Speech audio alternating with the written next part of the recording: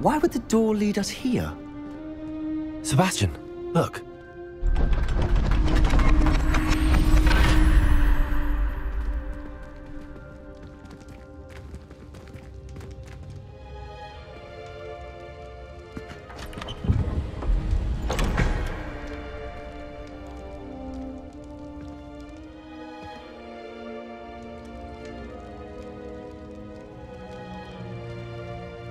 Why hide a triptych here?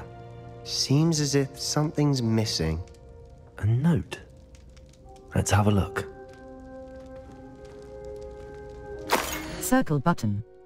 Back. Anything helpful in the note? A rune symbol. I've seen similar symbols used by the keepers. I've been thinking. A keeper lived in that house centuries ago, and Ranrock and his lot have been searching there. You said that goblins may be wielding some form of this ancient magic. Do you think Anne was cursed by ancient magic? I can't be sure, of course, but I don't think so. I didn't see any traces of it around your sister. Hmm. Very well. But that doesn't mean it's not ancient magic. There's still so much we don't know about it. True. Perhaps this triptych will lead us to answers. Then we'll have to unravel what this all means.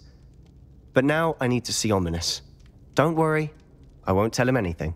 Did I mention that, apparently, Salazar Slytherin had a secret scriptorium here, in Hogwarts? You did not? Sounds worth looking into. Any idea where in the castle? No idea. Ominis just learned of it. I'll let you know what I find out. I had no idea our visit to Cian would unfold into all of this.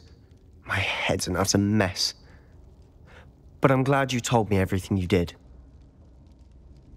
I'll be in touch. Till then.